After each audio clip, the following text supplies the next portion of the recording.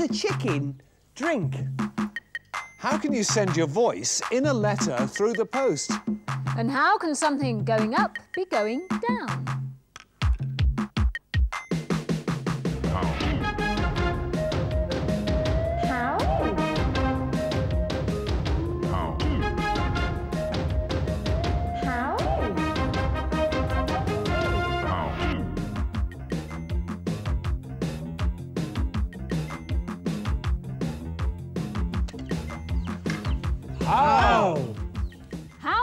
Sink a boat without getting it wet? You can't sink anything without getting it wet. Have you waterproofed your paper boat No, by it's nothing to waxing do it? with that. I think money on this one, gentlemen. 10p. No, it's the end of the series. You've cleaned us out. 5p. Five? Five. Carol, will you For take a such a check? fanta- I'm afraid I'm broke. I hope it's for 10p. 5p? Sorry? Ridiculous. That's all it's worth. All right, then here is my boat. Already the bottom is wet. yes, Good well, start. you know what I'm talking about, Fred. Now, to sink something, you have to get it below The waterline. The surface of the water. below the waterline. This is indeed on the surface of the waterline at the moment, is mm. it not? Yes. Mm-hmm. Okay. Now, if I put a jar with no holes in it over this, you can see what will happen. The boat and the water line inside the jar is going Down. is going down below the other surface. Yes. And what's happening is the air inside the jar is being compressed, and if I push it right down, it's pushing the water down, and the boat is almost sitting on the bottom of the tank. So now it is below the, Waterline. and it has Sunk. exactly But what? is it wet? Is it wet? No, it isn't. If I take the jar away again, you can see that it is perfectly dry and perfectly in order. Thank you for the check. Thank you for the money. That is how you can sink a boat without getting it wet. I hope my check doesn't bounce. Um, how does a chicken drink? Look at these little fellas here. Baby chickens, chicks. Aren't they nice? They are Yes. beautiful. Well, The, the incredible thing about this is that actually I have a lot in common with a baby chick. Yes, you're both foul. boom, boom. Yes, Fred, thank you very much indeed. Well, what I was thinking was that, um, that neither of us can fly, right? True, Yeah. yes. We've both got a set of uh, drumsticks. Yes. And we're both very cute. It's only your mother who says. but there is, in fact, one major difference between me and a chicken. There is something I can do that a chicken can't. What is it? Drive a car. Drive a car, play a guitar really, ski? really badly. Well, what is it then? What is this one thing, Gareth? What can I do that a chicken can't? Well, the answer is this.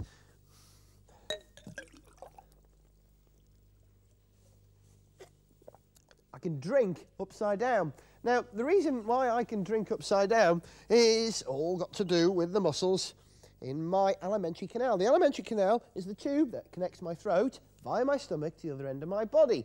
And when I eat, in goes a bolus of food, and the muscles are in that alimentary canal automatically start pushing the food down towards my stomach, or in this case, up towards my stomach, because of course I am upside down. But this is not how chickens drink. Oh no. You see, chickens drink by using gravity, because when a chicken drinks, its alimentary canal doesn't have the ability to squeeze the muscles and squeeze the food down. So what it must do is bend down, sip or eat whatever it wants, lift its head up, and it falls down into the stomach. This is the routine. Down, sip, up, swallow. Down, sip, up, swallow. So how does a chicken drink? Certainly not upside down. He's clever.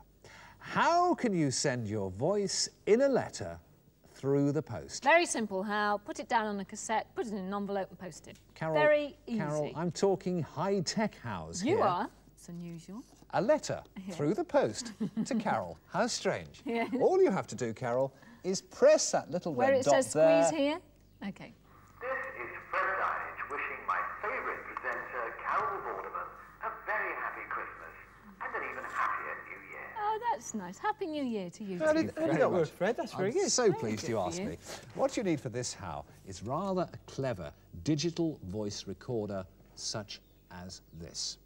Now, to show you how it works, Carol, I want to record your voice on this machine, okay? Yeah. I turn the machine on, I'm going to record your voice in the microphone there. A sort of happy Christmas? Do you want me to sing? no, you're not. No, you're like not a great ad libber. We all hmm. know that. So I'd like you to read this script, This I've prepared for you Yep. there, and start speaking into the microphone Yep. when I say. You've written this? Yes, when I say go. Okay. It is a great honour for me to work with the legendary Fred Dinenage. I can't say this, Fred. Unfortunately, you just have. now, what I've got to do is transfer the voice from the digital voice recorder onto this. Here I've got a chip with batteries and a sounding board, and at the bottom, an activating switch to make the whole thing work. So the first trick is to copy the message that Carol has just recorded, which will take roughly 10 seconds. And that, I think, will have done the trick. Let's find out how well it's worked by pressing the switch. It is a great honour for me to work with the legendary Fred Dinenage. I can't say this, Fred. Unfortunately, you just What a con. And of course, you can package the whole thing up exactly as you want to, in a card, mm. or just a letter, mm. or a telegram, however you want. And that's how you send your voice in a letter through the post. Very nice. Now, how can something going up be going down? Here I have a marble, put it in at the top. And can you tell me which direction the marble is travelling in? Down. Down. Definitely down. Oh, yes. Definitely down. All right, here I have a hill. Something travelling down a hill goes in which direction? Down. Correct. Now, on the side of the hill, I have this tube here. If I put a little ball bearing in at the top, this will go in what direction? Down. And it comes out It's- This is at the other end, or should do. There we are. Thank you very much. Now, if I take this tube off the side of the hill, keeping the bottom of it level with the table, but this time I wrap it around this tube, then I have created a sort of spiral hill, have I not? Yes. Okay.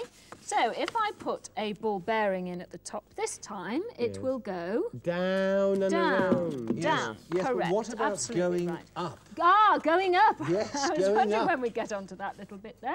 Well, going up and going down can be done both at the same time. Now, I take off uh, this little bit of the hill, and if I put the marble in, it still goes. Down. If I tilt it slightly, like so, and put the marble in at the bottom, mm.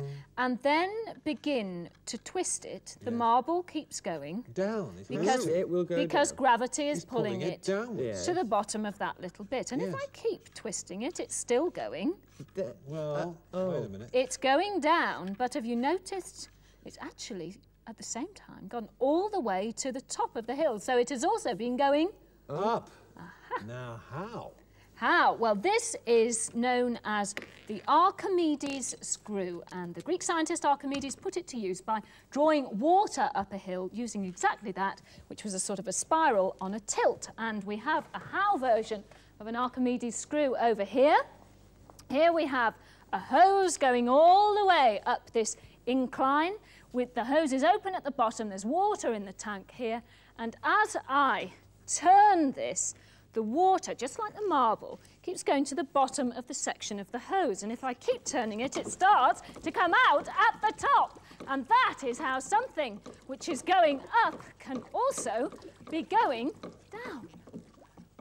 How can you make bird's nest soup without the soup? This is a good how if, like me, you're not too keen on soup and you don't like the twigs in the bird's nest. it's also art you can eat, and what better? Hard boil some eggs. Yes. And when they are hard boiled, wait for them to cool. yeah. And when they are cool, get a spoon, this is a cool one, and tap a nice gentle pattern all over them. Yes, with me so far? Yeah? Yes, Fred. Back in the water with which you cook them, add a little bit of food colouring and let that nicely cool off. At the same time, while they are cooling off and getting nicely green, cook yourself some spaghetti, all right? Pop it on the plate and tease that into a nice oh, bird's nest Fred. type shape. So well Yeah. presented. What I Fred. said, It's art. It's yeah. all about art. Take out one of your eggs, Yeah. which will then look rather like that. Now take off the shell, and your food colouring has produced beneath it a most wondrous It's like a marbled, marbled effect. Yeah. Well and it's said, safe Carol. to eat. Completely safe to That's eat. It's just beautiful. food colouring. Isn't that lovely? that is very and nice. here comes the real art of the how. You've made a lovely bird's nest with your eggs on top. And that's how you can have art you can eat and bird's nest soup without the soup. Yum, yum. That is beautiful, Fred. Well done. Well, a sad moment, so we come to the last how of hopefully the present series, and as usual, it's a how we know little or nothing about, genuinely. Except, Toppy, I think you know a bit about it. I know a great deal about this, how. Go on. Welcome, Norman McLean. The how, of course, is how do you play the bagpipes? Come over here. Come over here.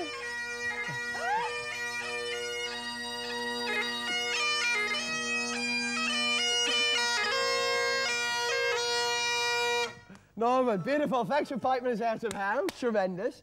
Now then, um, these, what kind of pipes are these? These are the Great Highland Bagpipes. the Great Highland Bagpipes. And how long does it take to learn to play the pipe? Oh, about, I'll have it down another 45 years. you know. You're not there yet. Would you like to learn? Yeah, I would love to learn. Now, what is the technique? Because we're going to have a go at playing the bagpipes.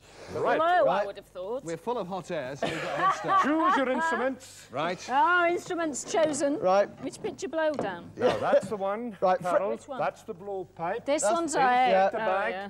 Fred, put the drones over your left shoulder. Yeah, Left right. shoulder. Right, over the left shoulder, inflate the bag. What, by blowing? Put blowing? your left, yes, put your left hand on the chanter. That produces Oh. the melody. Ah, ah. Uh-huh. Well, uh, other way, that's how they're Go on, Carol. Down, down. Okay, let that go down. That's it. Ah. Fred, Go, go for Fred. it. Go, Fred. Fred, Well done, Fred. Fred, Fred. Well Fred. done.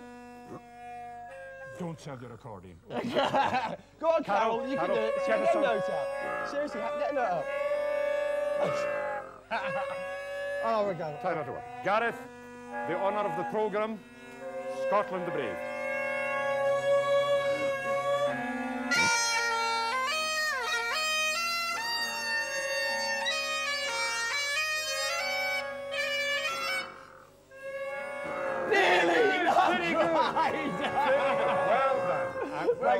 Very much indeed. I'm proud of So that's how you play the bagpipes, and that's... Gareth, Gareth, Gareth. Uh, little thing I forgot to tell you. Yeah. If you want to be a piper, you have to join a pipe band.